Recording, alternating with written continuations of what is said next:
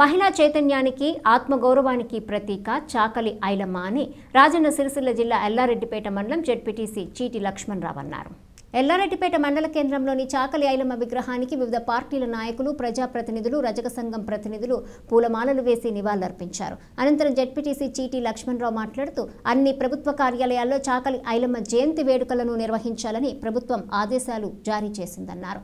ఐలమ్మ పోరాట స్ఫూర్తిని పుణికిపుచ్చుకొని ఐలమ్మ పోరాట స్ఫూర్తిని తెలంగాణ రాష్ట్ర స్వప్నాన్ని సహకారం చేసుకున్నామని తెలిపారు. ఈ సందర్భంగా టీఆర్ఎస్ పార్టీ మాజీ జడ్పీటీసీ తోట ఆగయ్య మాట్లాడుతూ ఎంబీసీ కార్పొరేషన్ ద్వారా రజకులకు పెద్ద ఎత్తున రుణాలు స్వయం ఉపాధి యూనిట్లను మంజూరు చేయిస్తామన్నారు. ఈ కార్యక్రమానికి రజక సంఘం ఎల్లారెడ్డిపేట మండల శాఖ అధ్యక్షులు ఏఎంసీ డైరెక్టర్ పెద్దూరి కృష్ణయ్య తదితరులు అధ్యక్షత వహించారు.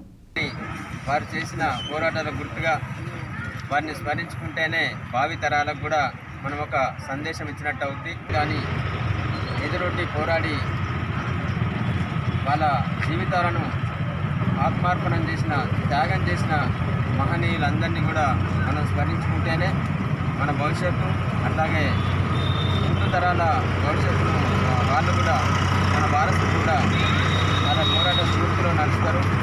వారి మార్గంలో నడిచి సమ సమాజ స్థాపనను అందరం కూడా పాటుపడినట్టయితే కాబట్టి అలాంటి గొప్ప యోధురాలు మహనీయురాలు విద్యాల శాఖ ఐలమ్మ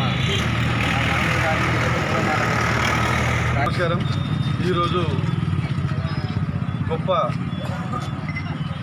మహిళా స్వాతంత్ర యోధురాలు బడుగు బలహీన వర్గాల కోసం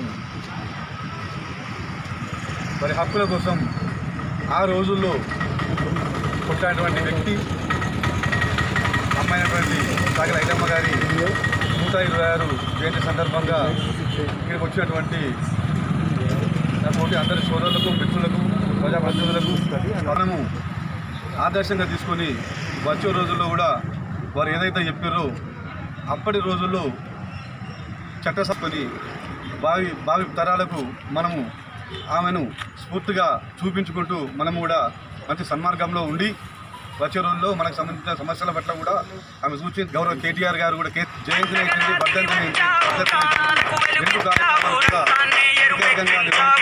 అలాగే చాగలి ఐలమ్మ వారసుల పక్షాన కృతజ్ఞత తెలియజేస్తూ ఉన్నాము.